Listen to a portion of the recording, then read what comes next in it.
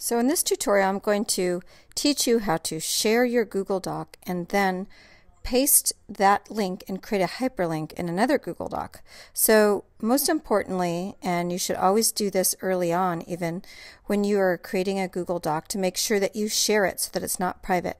When you first create one, the only person that can see it is you and if you do not share it and you email it to somebody and it's private, then they will not be able to access it. And this is probably the most common mistake that my students make. So first I'm going to go to the share button. Right now it's only private. It's just private. So I'm going to click on that.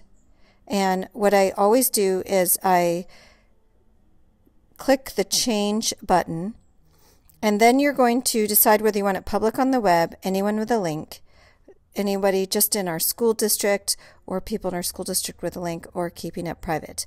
The option that I always like best is anyone with a link because then I can email it out to a group of people or I can post it on my website or I can post it in a hyperlink on a document and then anybody who can access it.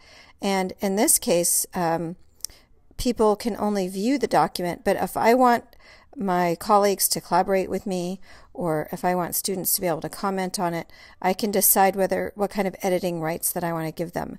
In this case, I want anybody to be able to edit or comment. If you can if you choose edit, they can either edit or comment the document. So if somebody proofreads something for you, then they can make changes as well, or they can just insert their own little comments. So I'm going to press can edit, and you will decide on that.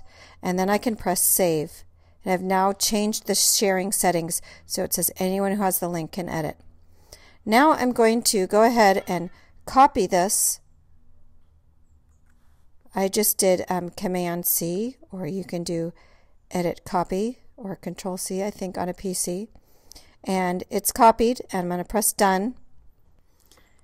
And now what I would like to do is to post a hyperlink to this document on a collaborative document where all uh, the people who are doing the same activity are going to be posting their hyperlinks to their documents. So I would uh, might start off by typing the title and my name.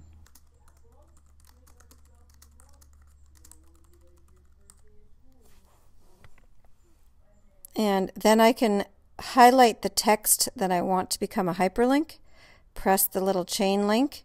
I'm going to choose web address and I'm going to paste it in there by Command V or Edit Paste.